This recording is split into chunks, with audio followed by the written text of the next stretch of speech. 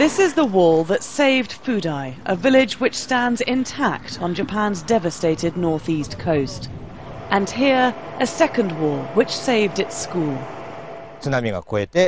When the tsunami hit, the water came over and crashed down and broke these concrete blocks. It then ran 300 meters up here. Fudai Elementary School is tucked right behind the wall, just 100 meters beyond. 137 children attend.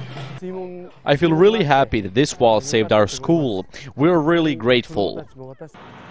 Both these walls were built five and a half metres higher than in neighbouring villages at the insistence of one man, the late mayor of Fudai, Kotoku Wamura. He saw the damage after a tsunami in 1933 and vowed it would never happen again. At the time, Wamura faced a lot of opposition for his wall. But now, some 14 years after his death, villagers are coming to his grave to pay their respects and give thanks that he had the foresight to save them. 24,000 people are dead or missing in the wake of the March 11th earthquake and tsunami. But in Fudai, the death toll was just one a fisherman who went to check on his boat outside the wall.